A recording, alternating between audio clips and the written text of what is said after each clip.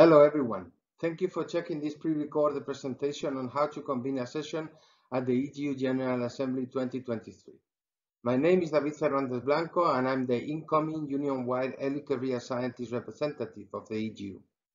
Today I will show you how you can convene a session at the EGU General Assembly and how to do that smoothly.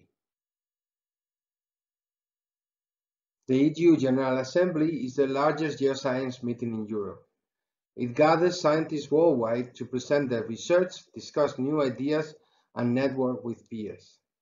Conveners organize, oversee, and manage EGU sessions and act as facilitators to authors and promoters of discussion. As a convener, you will propose the session, review and select abstracts, and invite speakers. You will also guide presenters prior and during the session and facilitate discussion to make sure that the session runs smoothly. Conveners shape the scientific program of the conference and showcase research in their fields. You, as a convener, play an essential role. No EGU General Assembly will be possible with its conveners. So thank you for your time and commitment in this role. As part of the EGU, I put forward this webinar to give more information about how to convene sessions smoothly and effectively. As a convener, you should be aware of the EGU presentation guidelines and code of conduct. All attendees must follow these general rules.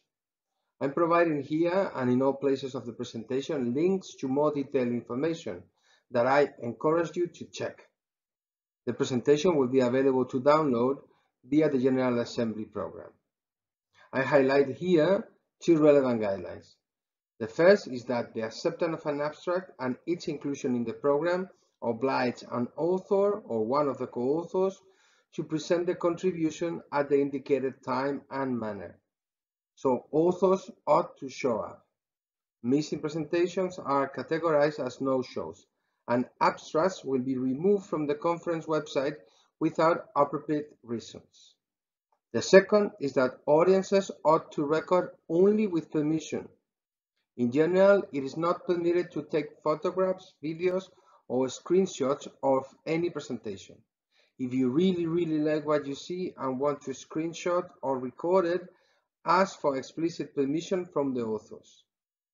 So as a conclusion, as a convener, you should ask presenters to include symbols that guide their audiences to either encourage or not allow photos and screenshots on their presentation slides. I'll talk now briefly about the presentation modes available at the General Assembly 2023. This year's General Assembly will be held in a fully hybrid format. This means that attendees can participate on-site or from whenever they are. This applies to all type of sessions. For virtual presentations, tools such as Zoom and GatherTown will be used.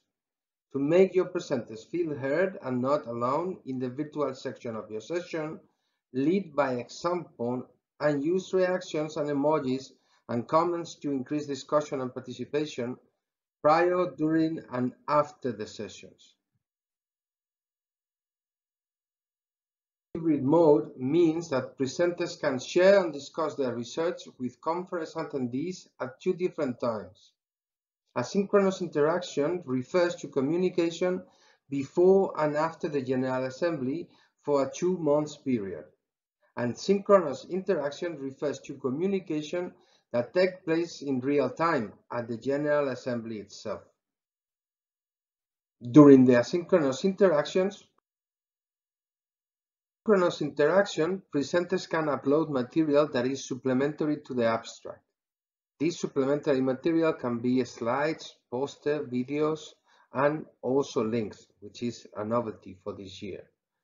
Presenters can modify their material at any time, creating multiple versions. This material will be accessible only to registered attendees. These attendees and the presenters can comment for interaction, and those comments will be linked to each specific version. For the synchronous interactions, presenters have to upload their live presentation files 24 hours before their sessions. Attendees and presenters can comment for interaction for the case of PICO and poster presentations, which are linked from the online session page. Do strongly encourage your authors to upload supplementary materials and make sure to communicate these guidelines clearly to all presenters. In terms of licenses, abstracts will get DOIs, as they always do, and display materials will get uh, CC BY 4.0. Uh, as I mentioned before, display materials will be limited to registered attendees only. The EGUsphere uh, will launch at the end of the asynchronous phase. All abstracts will be linked to the EGUsphere after that phase.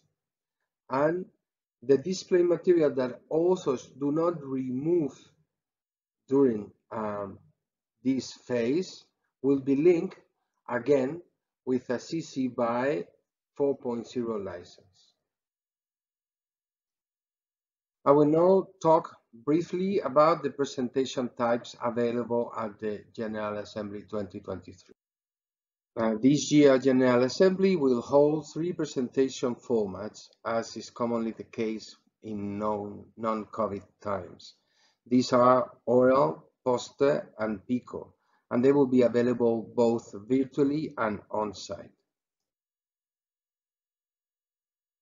Presentation, the presentation length is 10 minutes. This time includes the time for changeover and discussion. It is important to ensure that all presenters in the session have an equal amount of time to present. Orals will be held in an hybrid style, both in person and virtually. The in-person oral presentations take place in the lecture rooms. Lecture rooms are equipped with lectern cameras and microphones to allow delivery of the presentation via Zoom.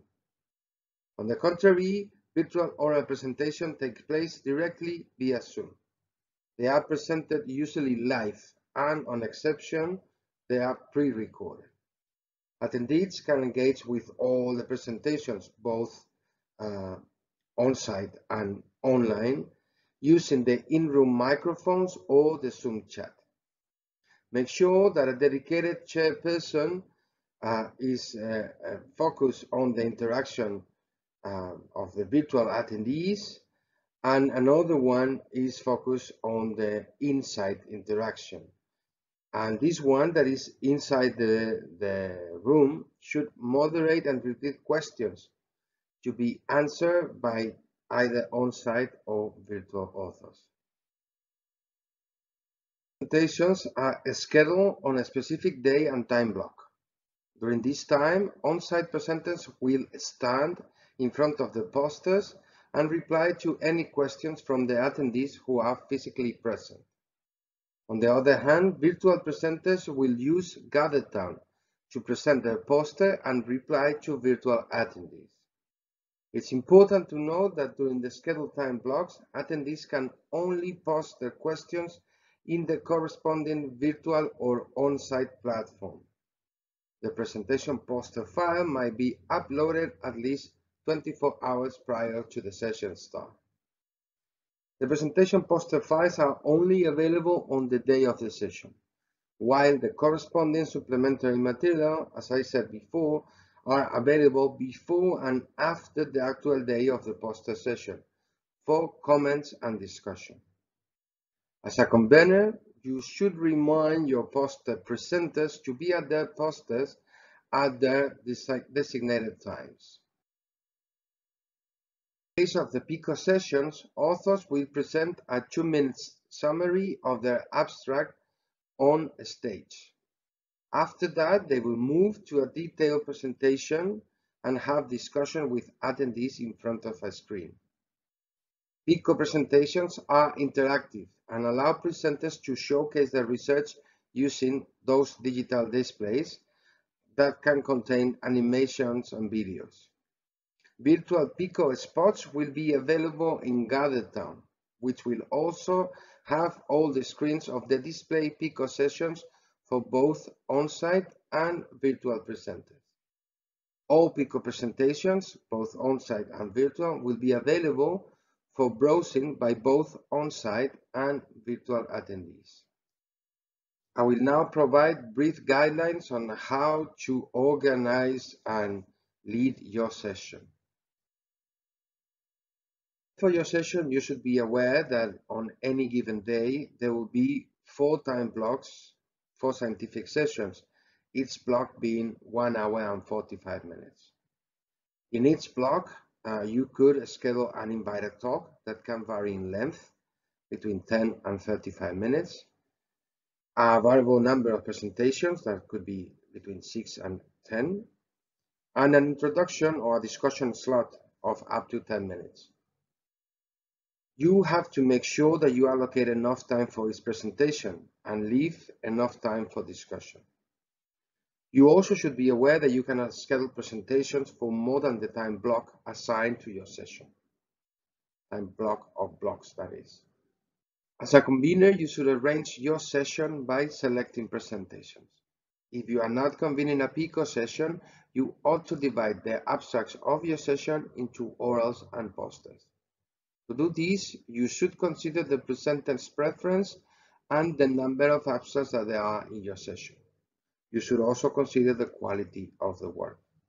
You should equally consider diversity and aim to highlight varied countries and institutes, different career stages, genders, and diverse scientific approaches. Additionally, you can highlight up to one solicited presentation per time block. I will mention more on this. Finally, make sure to find impartial judges for the OSPP. The OSPP, or Outstanding Student and PhD Candidate Presentation, is a great opportunity for students and PhD candidates to showcase their work and receive recognition for their contributions. And judges should ensure fair competition and recognition for student work. After you have selected the abstracts for your session, it's now time to define the structure in which they will be presented. For this, you should consider grouping similar topics together, aiming for a logical and coherent sequence that allows the session to flow smoothly. Also consider the content and themes of each presentation, as well as the diversity of the presenters, and avoid scheduling talks by the same author or research groups consecutively. Once a logical order is defined, you can use the Add Subtitle button in the online tool to structure your session. With that, you can now define the length of solicited presentations if you have any. As a convener, you can highlight up to one solicited presentation per time block. We recommend that you indicate the names of solicited presenters in the description of your session, again in the online tool. Authors of solicitors' uh, abstracts are like any other attendees, so they are responsible for the abstract processing charges, registration fees, and other expenses. Each session must have at least two chairpersons present in person during the conference. It is important that you appoint chairpersons, even if they are not a convener, and particularly so if conveners are not attending in person. The chairperson's role is to introduce the speaker, keep the presentations on time, and facilitate discussion. Now, a brief mention on some deontological behavior expected from conveners and co-conveners is that they cannot present as authors, and they are discouraged from being a co-author in oral presentations in the session they convene. It is also expected that they are not authors, whether first or co-authors, of any solicited presentation in a session they convene.